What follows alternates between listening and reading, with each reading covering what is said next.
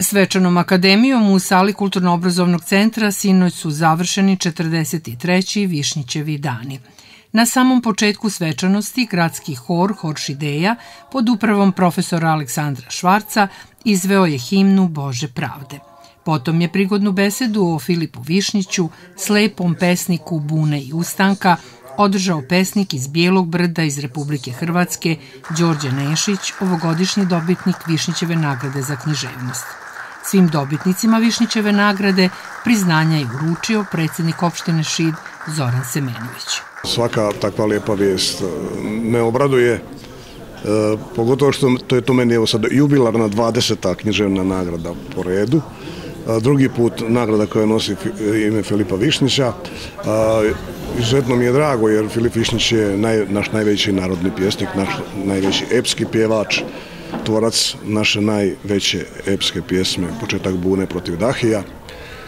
I e, pogotovo kad znam popis ranijih dobitnika ove nagrade, dakle sve uglednih srpskih pjesnika, činilo mi je veliku čast i radost vijest da sam dobitnik Višnjićeve nagrade. Višnjićevu nagradu za životno delo ove godine dobila je Nada Rudić kao predani radnik u kulturi, a u kategoriji za mlade stvaraoce do 30 godina glumac amaterskog pozorišta Branislav Nušić Luka Jašćur.